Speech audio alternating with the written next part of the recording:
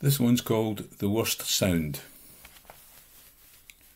What's the worst sound you've ever heard? Buy me a drink, I'll tell you about a death, a sound, and the end of a dream. It was ten years ago. I was a young Church of Scotland minister.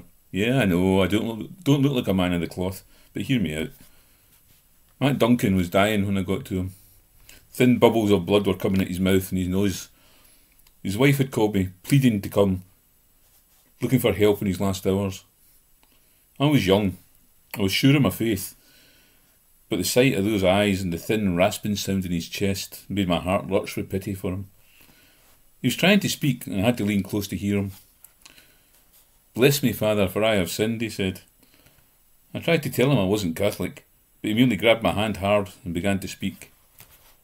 I won't bother you with the details. His life, as he told it, was full of theft and mayhem, sexual depravity, murder, even. I felt bile rise up in my throat as he told me one particular story about a 12 year old girl that he'd hurt. But my God's a merciful God. I prayed with him. I told him that God would care for him.